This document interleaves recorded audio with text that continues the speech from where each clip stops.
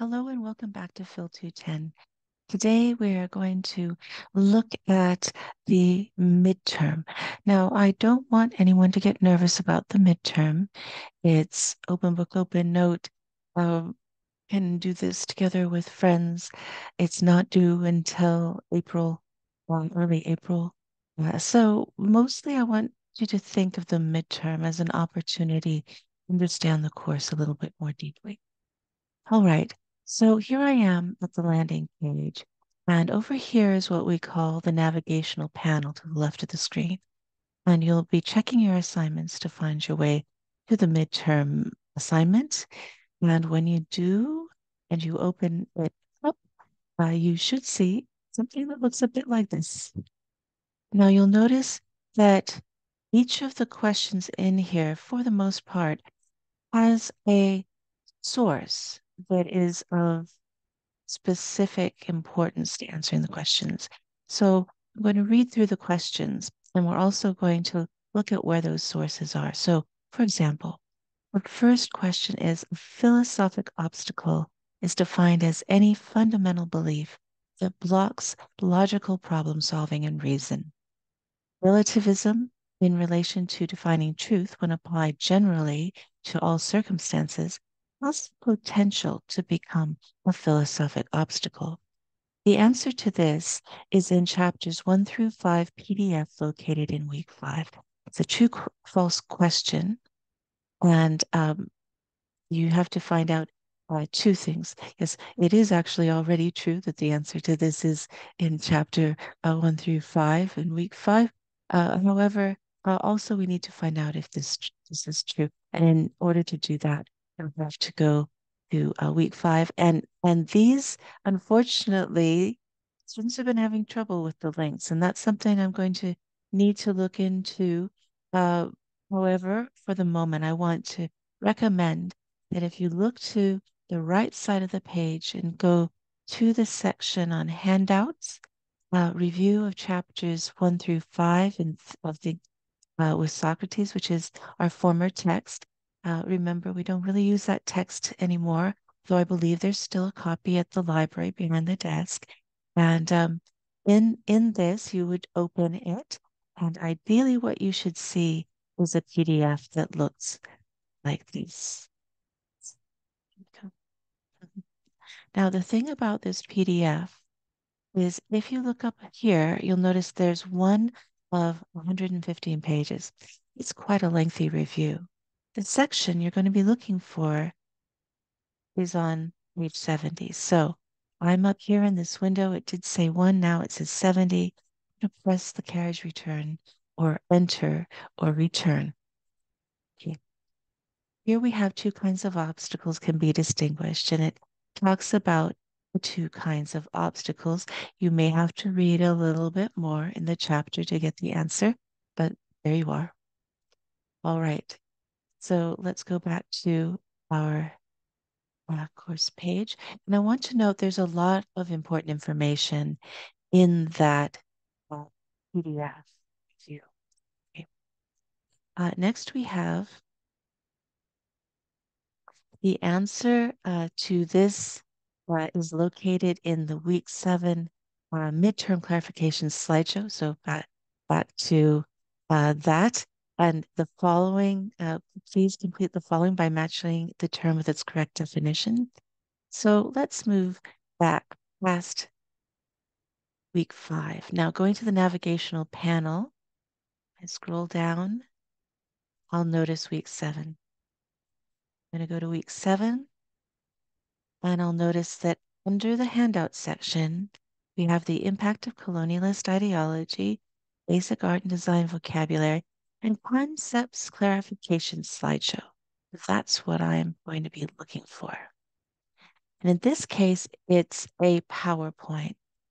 I'm going to open up that PowerPoint and it has mid post midterm clarifications. Now, again, my midterm for this course isn't precisely um, or even close to a punitive form of exam. It is meant to be a study session for you, essentially. Uh, so here we have the post midterm clarifications. I am not going to go through this because I want you to go through this. uh, if you have not already. But if you look through these slides, you should be able to find the information that will help support uh, your ability uh, to answer the question. So I'm going to reduce this and go back to, apologies, here we are, um, back to our exam process.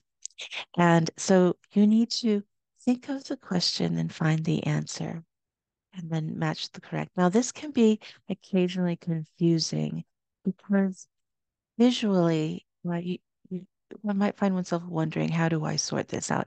So here we have empirical knowledge. It comes from experience. That's one item, and it ends with the period. The second option is independent of all particular experience, not derived empirically, and you have a period. Okay, so you'll have to choose for each one of those which it's connected to. All right. Then we have, please choose one item from the options available. And in this case, we're talking about Carl Sagan's baloney detection kit article. And you'll find that in handouts in week eight. So I'm going to come back here again. I go over to the navigational panel where there's week eight. And then if I scroll down, we'll see that there's a handout section and we'll notice Carl Sagan's baloney detection kit. Okay. And when you open that, it will help support your ability to answer this question. And please note that um, I've also said choose only one of the items from the available options here.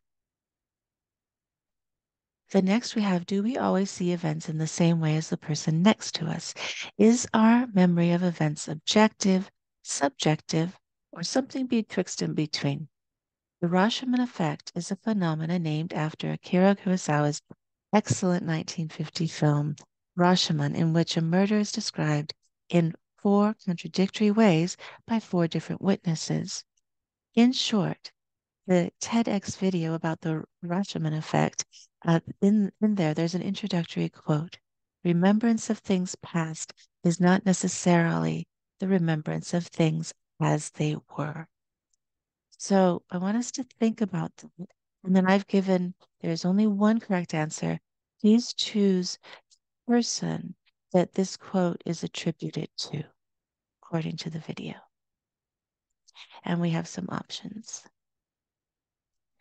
Then, according to our week eight unit information, which of the following are principles of design and which are elements of art? Now, this relates to our discussion under axiology of aesthetics, aesthetics, which has to do with what is beautiful and has to do with our appreciation of forms and art and structures and visual literacy. Okay, so uh, the information that this is applying to is available just below the What is Visual Literacy video. Now, I want to remind everyone to watch that video and then look for the information in the page that's below that video and try to con consider uh, which of these answers is going to match with the particular term. Okay. Please choose the term that most closely fits with this description based upon course lectures and notes.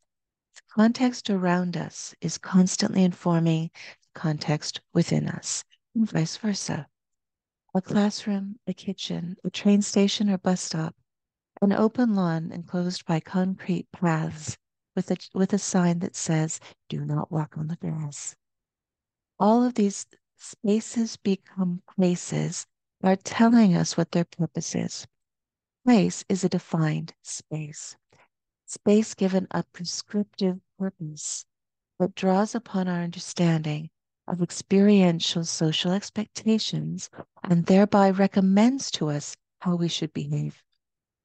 In this way, space or places are persuasive, places are rhetorical. The space become place can be rhetorical. In this way, spaces turned places potentially legitimate and perpetuate social behavior. This phenomena of reciprocity and relationality is what we term dot dot dot. And so then I'm going to ask you to choose from the following a term. So this is from a conference lecture I gave a few years ago. So I'm actually just going to go ahead and give this to you. Typically, uh, I hope students will hazard a guess, and and in the uh, in the campus-based version, we talk about these different ideas and what they might mean. Um, for the purposes of an online uh, asynchronous class, I feel like I should be a bit more generous here. So I'll tell you that the, the correct answer is spatial rhetoric. However, I do want us to take a moment to think about these different terms and what they might mean. Uh, now, environmental apologetics. Apologetics is a way of explaining something, most often spiritual experience, often particularly as it applies to Christianity. But when I'm talking about apologetics as an explanation or justification in terms of environmental, what would I mean by that? Well, I would be talking about how our environment potentially expresses, and our interaction with it expresses a justification or an explication of the meaning of context. Contextual codependence.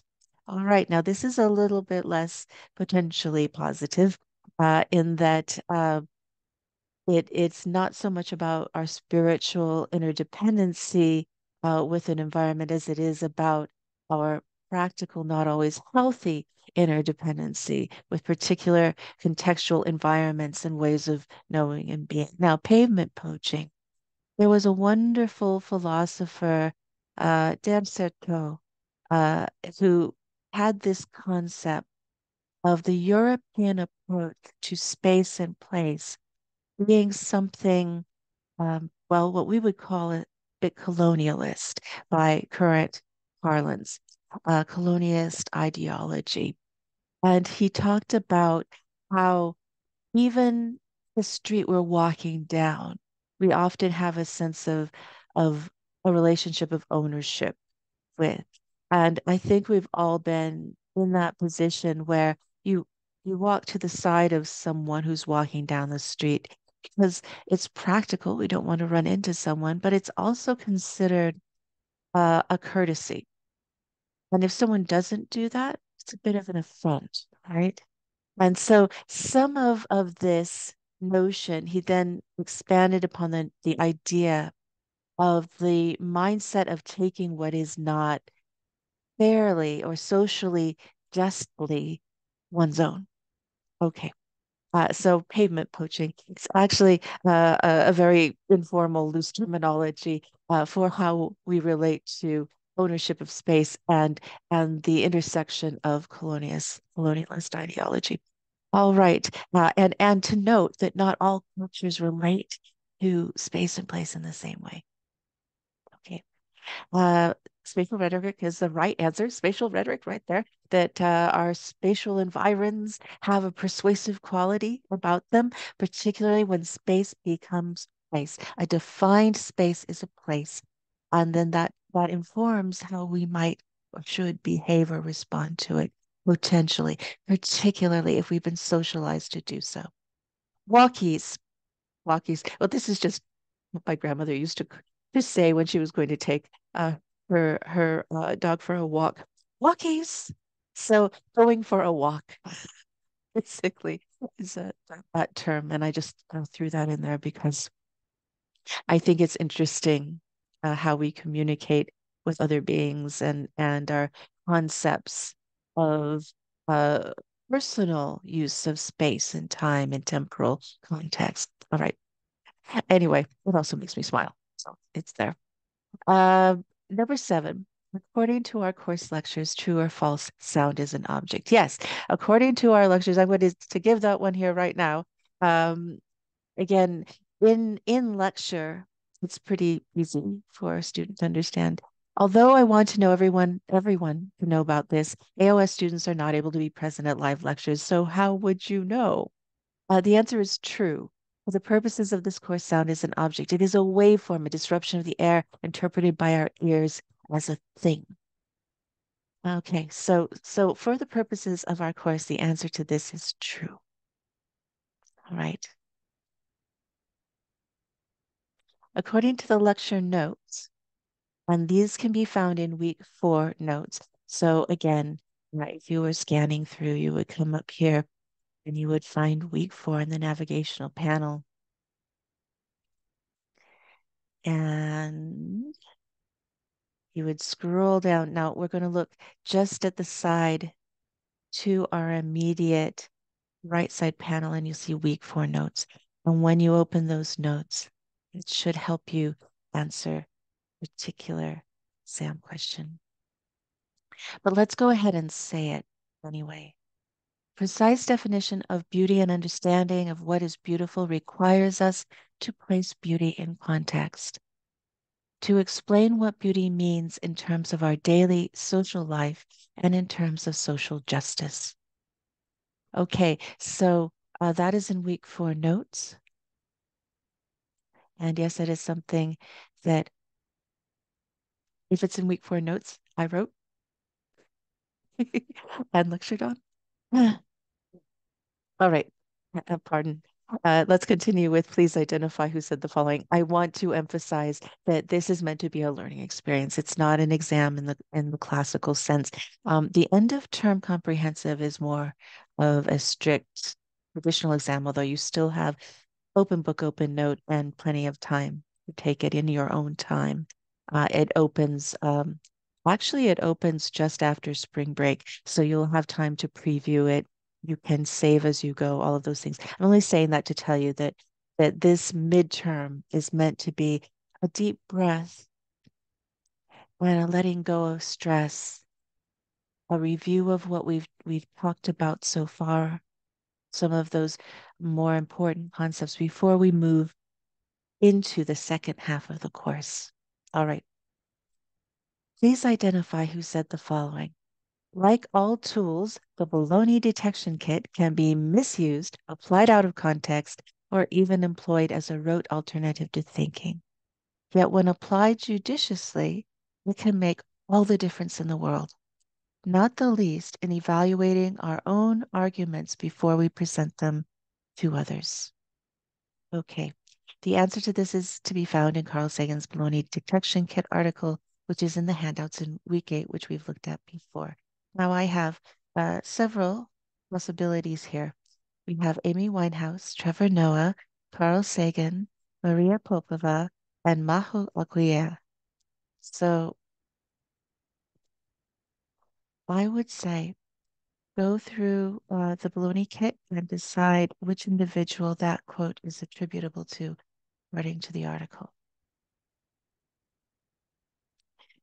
Okay, number 10, please match the vocabulary terms to their appropriate definition. Now, this is where it can again get confusing, but each one of these sentences is a possible response, a possible match to that particular term or, or words or terms. And uh, you have an opportunity uh, to choose. And don't necessarily, there we go, uh, don't necessarily um, immediately just assume the answer. Give, give some time to think it through. And if you have one that you don't know or isn't familiar, these can be from any of our readings pretty much. Uh, what I would do is I would take a moment and start with the things I feel fairly certain about. And then by process of elimination, I would go back and choose between the others. Uh, it's also perfectly fine to seek online support from this, but do be careful. Make sure that if you seek help from an online source that isn't a part of our course, and it is a laudable source. All right, then we have five tips to improve critical thinking from the supplemental video in week seven, the same name. So back here again, week seven. We'll note that there is scrolling down the center of the page, five tips to improve your critical thinking. And from that video, I'm asking you, based on having watched that video, uh, suggest a process that these five tips might apply to. For example, writing a song, planning a family vacation, or writing a paper. And please explain the actions or information that each tip, as they call it, or step uh, completion might necessarily in- include. So, how would you actually go through those five steps? So, take, for example, the first step, and then how would that translate into a practical uh, context of completing it? So, if you chose writing a paper, how does that first step help with writing the paper? What would it mean? What would you have to do? How does that second step translate into a practical action? Third, fourth step, fifth step. Okay. If you have any questions at all, please do email me about that. Students may write their responses or respond using a video or an audio recording, features of uh, MyHeritage, or alternatively applications of their own. So what am I talking about? Look here. We have a video camera and we have an audio recorder. If you select this, it will take audio and video. You have a camera on, on your device, and it will record your response. If you are shy about the image, you could just this and it will record the audio of your voice. Or perhaps you find it just as easy to write in the box. Uh, whatever works for you uh, in your ability to communicate the answer to this question is acceptable and, and wonderful, in fact. Okay. Uh, again, if you have any questions about this midterm exam, please email to me um, during the spring break. I might not get back to you immediately, but I will be checking a couple of times during spring break. Um, and then after spring break, well, I will certainly be, be checking right away. And this is again not due until the very beginning of April. Okay. Thank you so much for your time and attention. And I look forward to discussing ideas with you uh, via our, our forums, or if you're a synchronous um, learner at our campus based on campus. And I do hope that you have a wonderful break. Thank you so much.